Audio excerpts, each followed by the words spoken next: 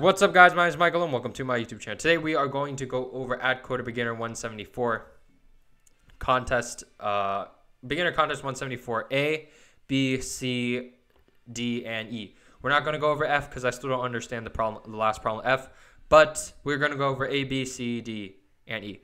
Okay, so the first problem is, is that you will turn on an air conditioner if and only if the temperature of the room is 30 degrees or above.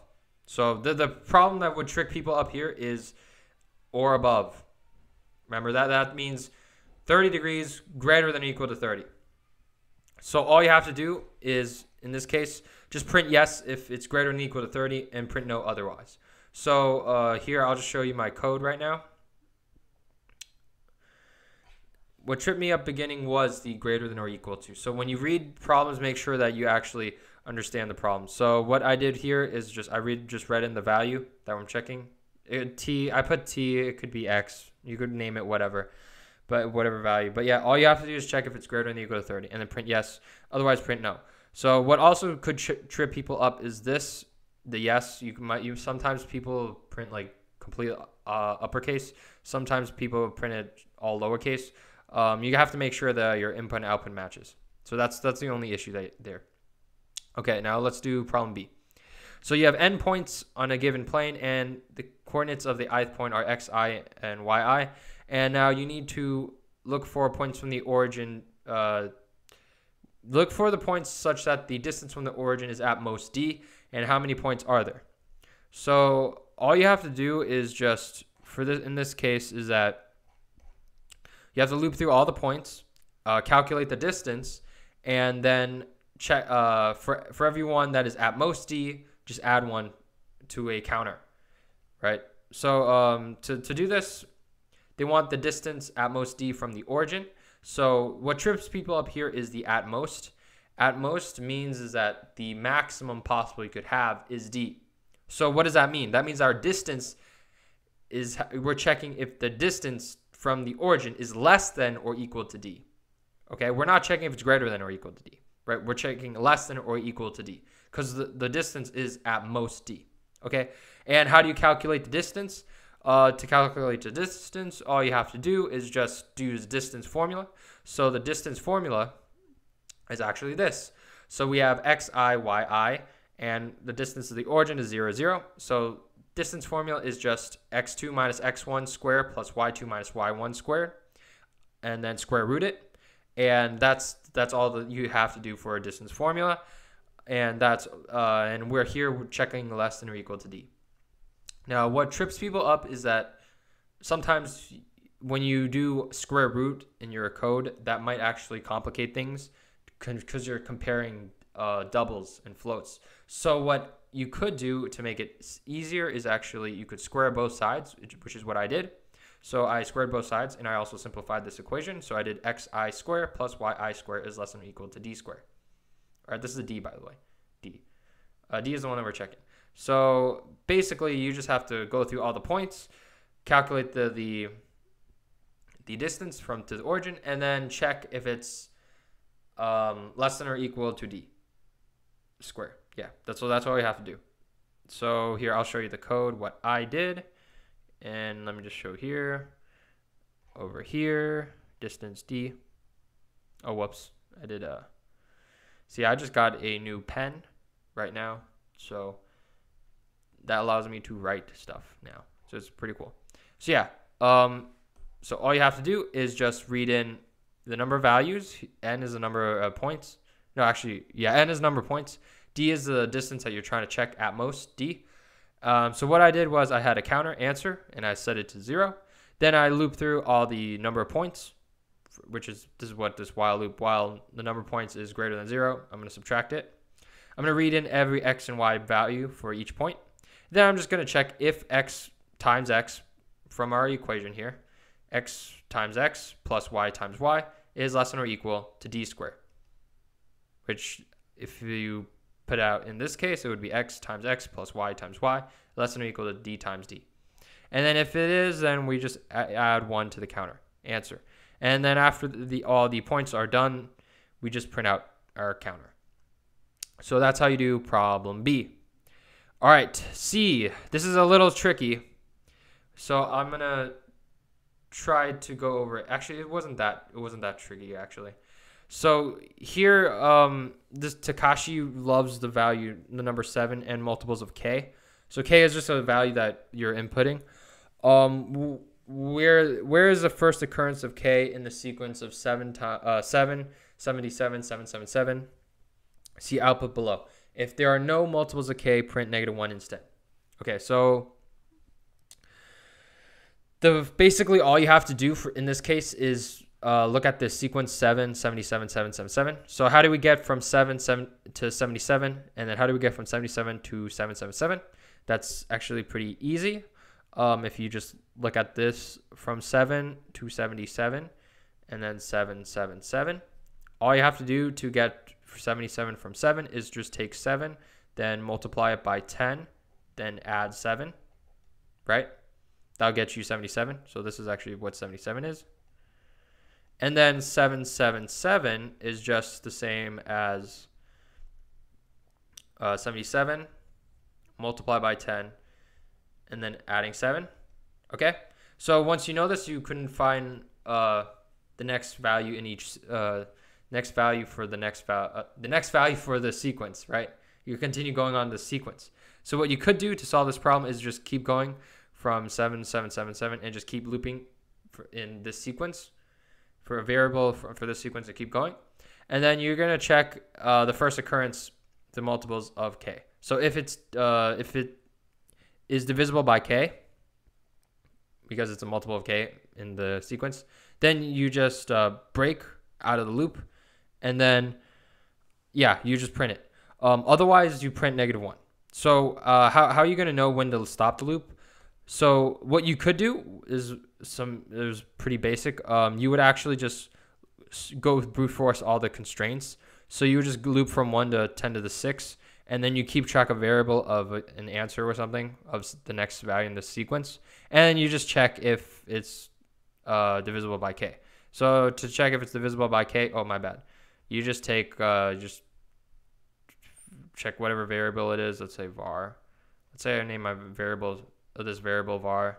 So I have an, uh, you just do mod by k, which this takes the mod by k means I get the remainder and I just check if it's equal to zero. So if, if this case is true, then yeah, I just break and then I print out the number. So um, I'll just show you the code right now. So yeah, uh, this was this tripped me up a bit also, but I understand it. Now. So yeah, what what I did was I read in the number k, right, which is the one that we have to check if it's divisible by. So I have a counter starting from zero, which is my current number. Um, I'm going to brute force from 1 to 10 to the 6 because that's the maximum constraint we have. So this is a hacky way to do it. Um, so yeah, and then what I'm going to do is I'm going to take the current value that I have, 0. In the beginning it's 0, but then um, later on, uh, I'm going to multiply by 10 and then add 7. So I'm going to do that every single time. And then I'm going to check if it's um, current mod by k, uh, each current value mod by k is actually going to equal to zero or not, right? So that checks if it's divisible by it. My current var variable that I'm multiplied by seven, multiplied by 10, adding seven is uh, zero or not. And if it is, I'm just going to print out i. i is the counter that we're starting from one to 10 to the six.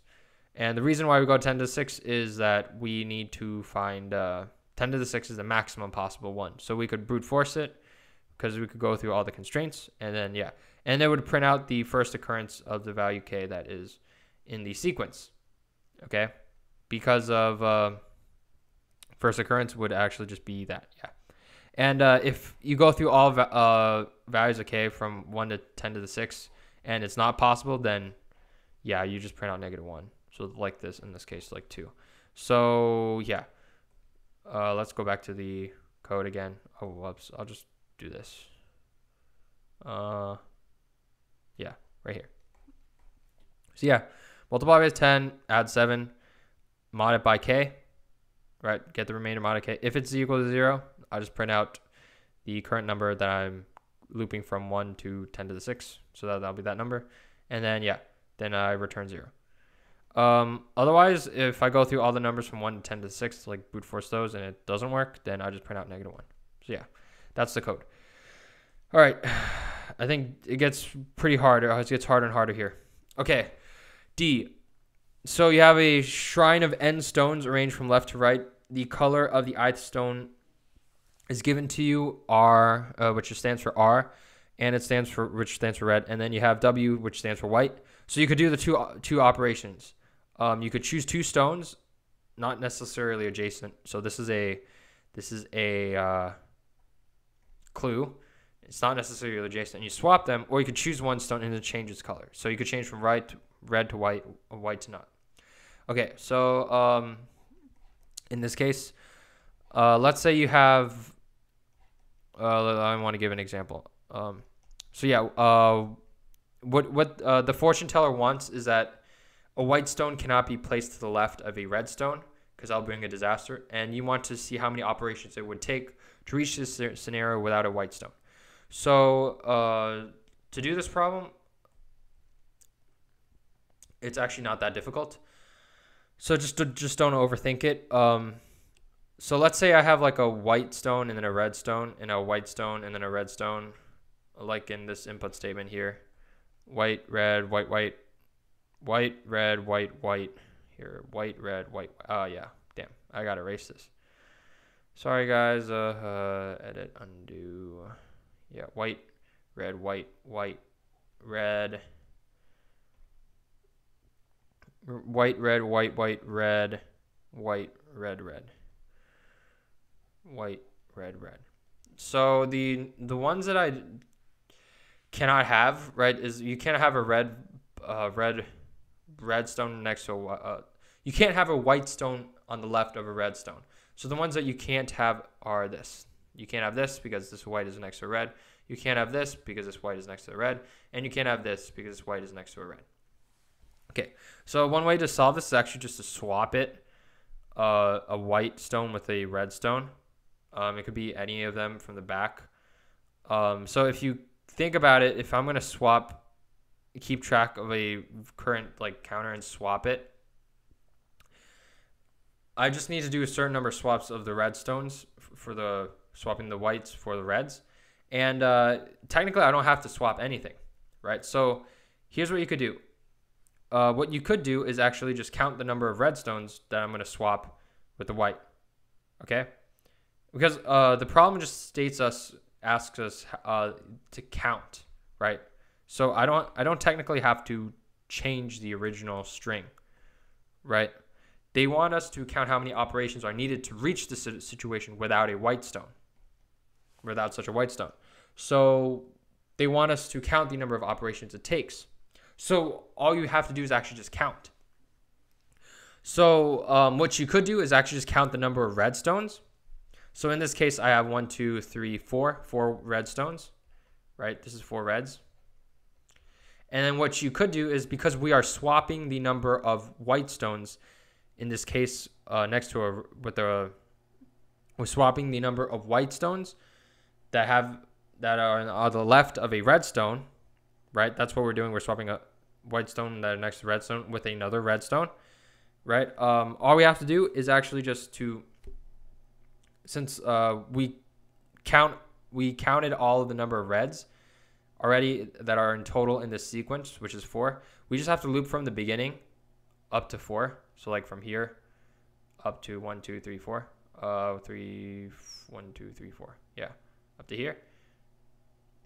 And then check, count how many whites there are, because that's the number of ones that we have to swap, right? So with, with the number of reds.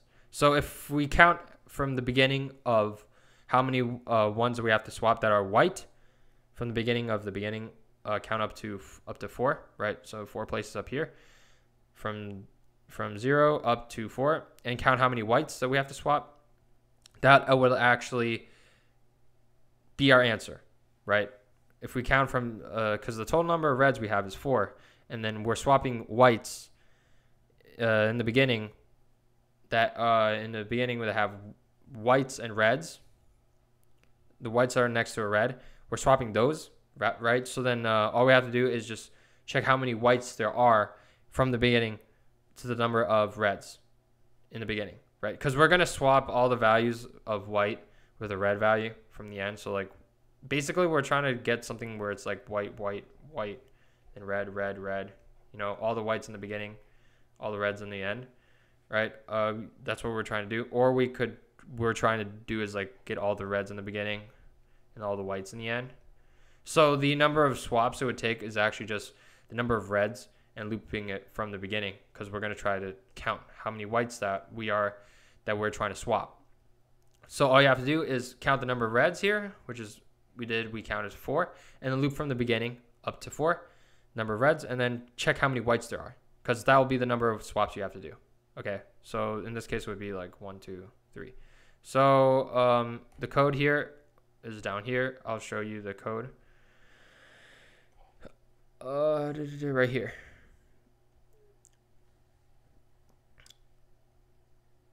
Okay, so this is the code. Um, so here what we're going to do is we read in n and read in the string. So we're going to count the number of reds and then we add one for how many total reds in the sequence. Then we're going to loop from the beginning up to the number of reds because that is the from the beginning to the number of reds. That was the number of reds that we're going to do, assuming that all the reds are in the beginning and then all the whites are in the end, right? So assuming this is the this is the, what we're trying to do, and then we just count how many whites there are because that's the number of times we have to swap from the beginning. So with the end. So that would be string check from string. Uh, after looping, after we're uh, adding all the reds, we're going to loop from i0 up to reds, i++, and then we're going to check if string at i is equal to w, and then add one for ops, and then after that, we just print out ops. Okay. Another one.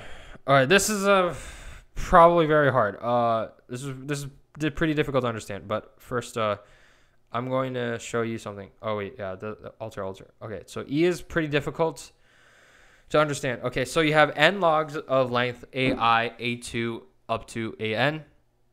You're trying to cut the logs at most k times in total. Whose uh, when a log l is cut at a point whose distance from the end is it becomes two two lengths, t and then l minus t. Right. So if I cut a log from the beginning, it's t if I it becomes two lengths t and l minus t. So now what we're trying to do is we want to find the shortest possible length of the longest log after k at most k cuts. Okay, so this is a bit, bit difficult. Um, basically, this problem is trying to say is that we are we're gonna cut the we have a bunch of logs, right? We're gonna cut the logs each a number of times, right? Um, whenever I cut the log, I want to find the shortest length after I cut the longest log. Uh, right? I'm gonna. I want the shortest possible length after after I cut the longest log, and I only could do it at most k cuts. So if I cut like once, uh, if I cut it, uh, let's say cut a log, that'll be like one cut, and then um, like uh, okay, my bad.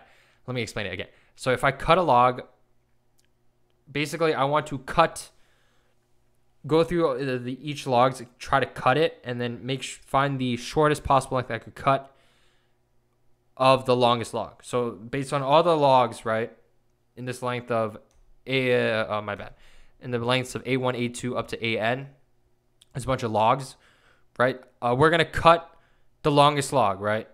And we want a shortest possible length after cutting the longest log, and then we're gonna do that for uh, at most k cuts. So at most k cuts, we're gonna cut that number of times and print out the shortest possible length. Okay, so what's difficult about this problem is, is that um, first of all, we don't know we don't know the length that we're gonna cut.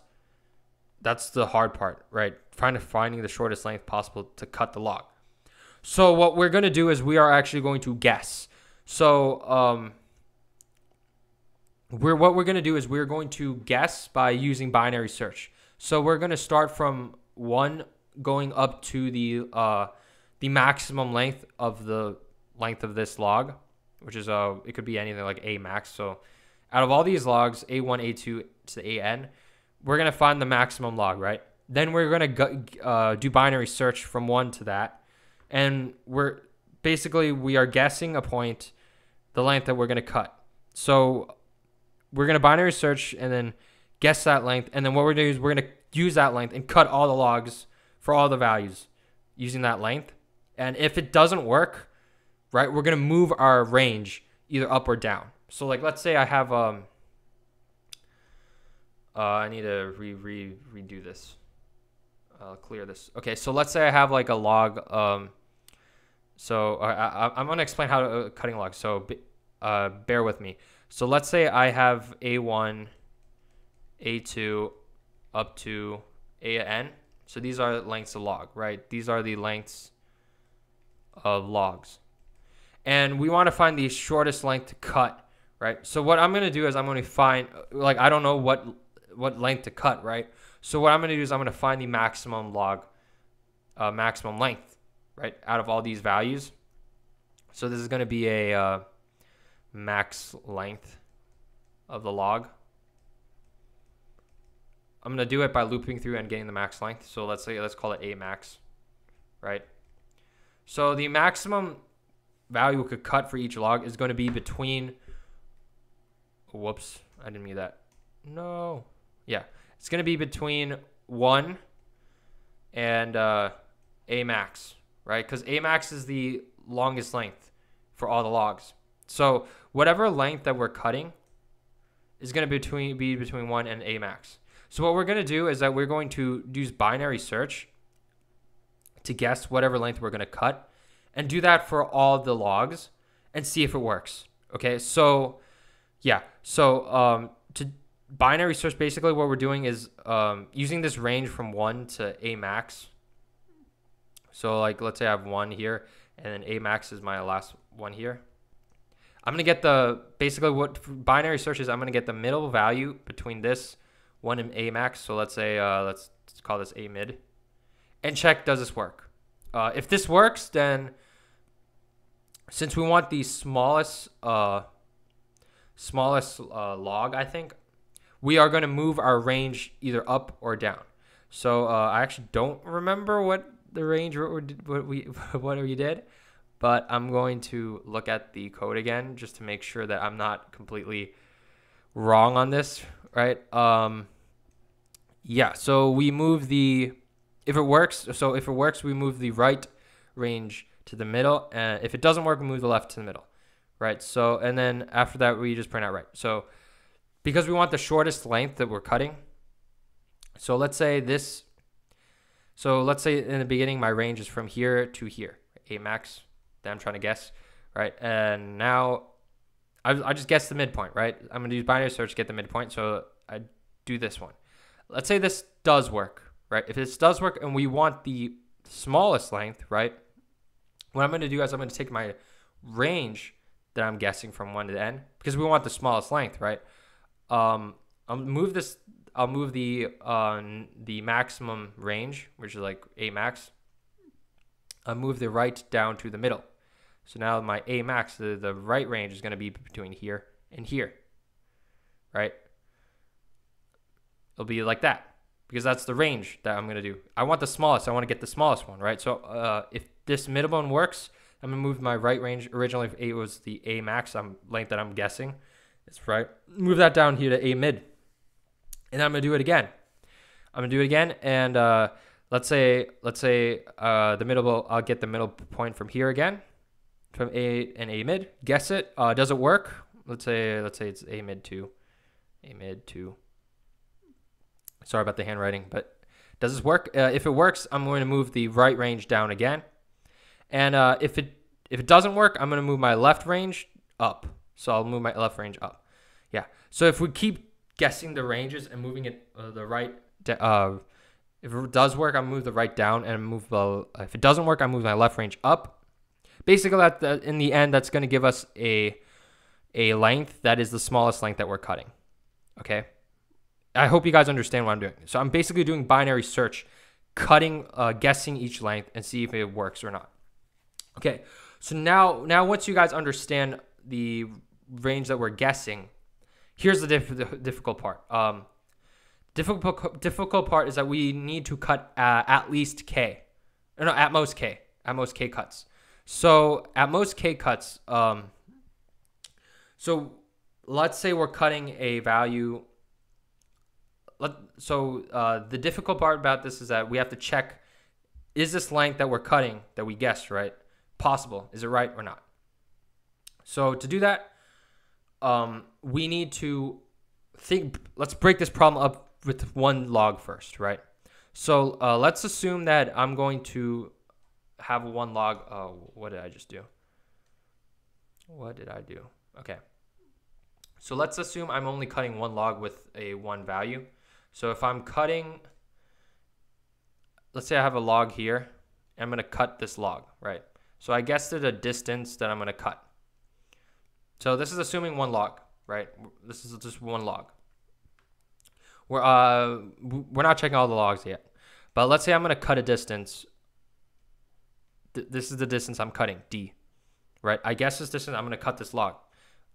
Um, so how many cuts can I do with uh, log 1, with the length of this length log of D, of D?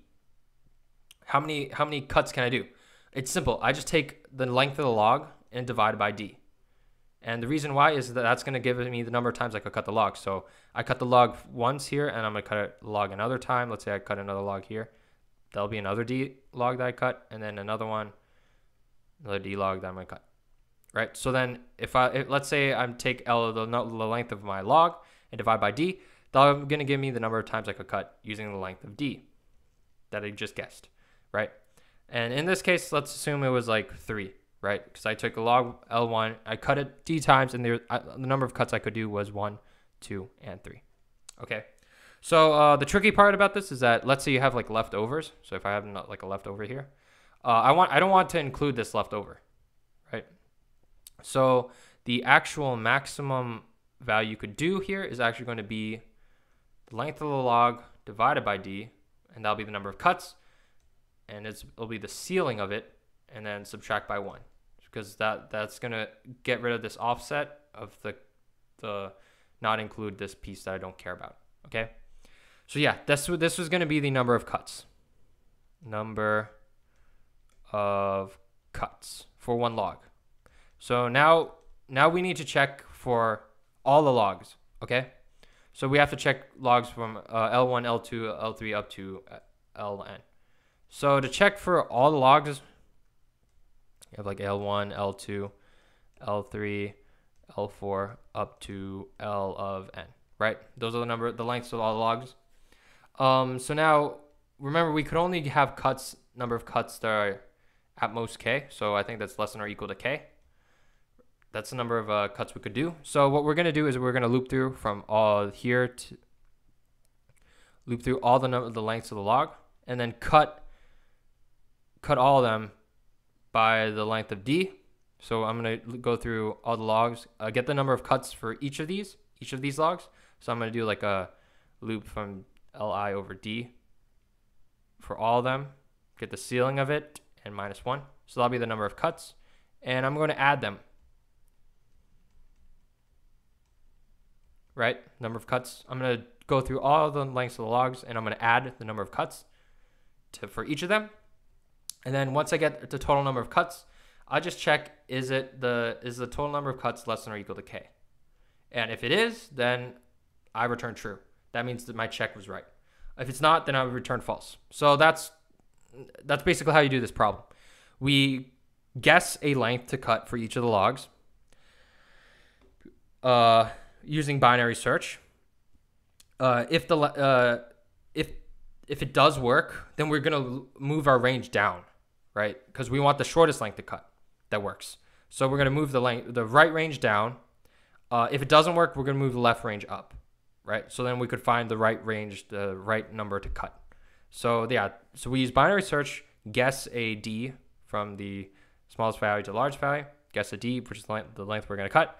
We're to find the number of cuts, check if it's less than or equal to K. If it does, we're going to move our right range down and then do the, do the same thing again, guess another D, uh, if it doesn't work, move the left range up, and then keep guessing until finally we get the shortest number value, shortest distance we could cut that has a length less than or equal to k. So yeah, um, this is how you do the code. So here, this is the code. Uh, first of all, I created a vector for the number of numbers n and k. And that's it. Um, here, I read in all the lengths of each log. That's what a of i is. So this for loop reads in the all lengths of each log, and then I get the maximum number of the log. So then I could get the right range, the maximum range I could that I'm going to use. Uh, right here is I'm going to use binary search. So this is basically just guessing, guessing uh, the right range or not, the right number or not. So binary search, we take the middle value of what we're doing. So here I start I left starting from zero. The like let's say zero is the lowest number we could cut, right? Can, can cut. Right is the maximum number we could cut. Um, while left is less than right, I do uh, left plus one, but uh, that's just this is just like moving the left up or down, right? Um, that's what this while loop is doing. Um, we're gonna get the middle value between our left and right ranges. Get the middle.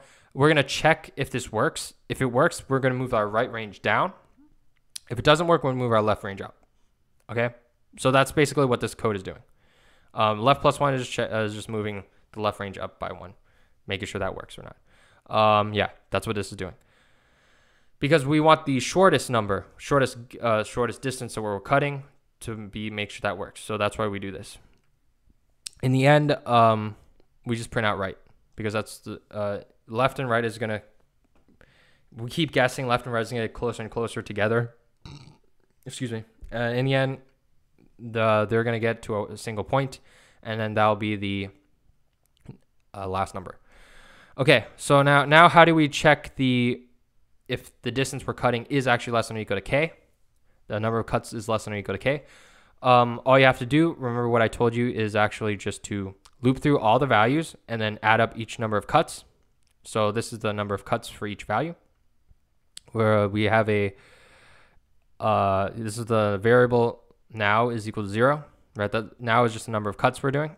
And all we're doing is just taking the current length and dividing it by uh, x, which is the value that I'm guessing, right? Remember, we use a value that we're guessing.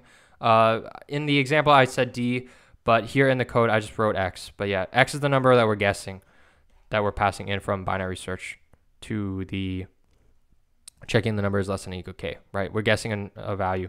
That's what we're doing here. Um, yeah. So what we do is we take the value, the length of the log, the current value of the length of the log, uh, minus 1, and then divided by x. That's basically just doing this, right? We're taking the length of the log divided by x. Uh, in here, I wrote d. In the code, I wrote x. It's just the number we're guessing, right? The length that we're guessing for the log. So yeah, that's what you do here.